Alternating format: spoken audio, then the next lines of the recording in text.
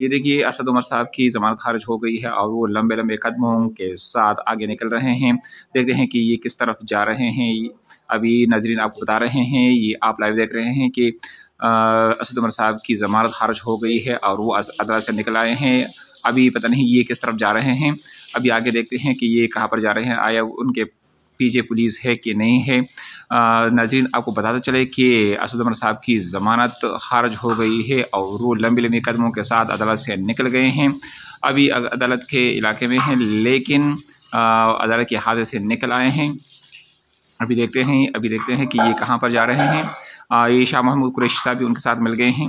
आ, देखते हैं कि अभी ये कहाँ पर जा रहे हैं। आपको ये बताते चलें कि शाह महमूद कुरैशी साहब और असद उमर साहब और साथ ही असद के सदर साहब भी इनके साथ हैं। अभी असद के साहब की जो ज़मानत है, वो अभी तक इनका कोई पता नहीं चल रहा कि आया वो कंफर्म हुई है कि नहीं हुई। लेकिन अभी देखिए ये अभी निकल आए हैं अदालतों से। और ये शाह मोहम्मद कुरैशी साहब भी देख रहे हैं। आप इनके पीछे बहुत तेज़ कदम के साथ वो निकल रहे हैं।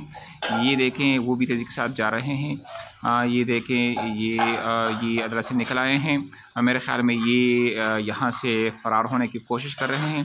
ये देखें शाह मोहम्मद कुरैशी साहब गाड़ी में बैठ गए हैं और पीछे से ये असद उमर साहब भी आ गए हैं, वो भी दोनों एक ही गाड़ी में बैठ गए हैं। और वो देखे यहाँ से फ़रार होने की कोशिश कर रहे हैं। दोनों एक ही गाड़ी में बैठ कर फ़रार हो गए हैं।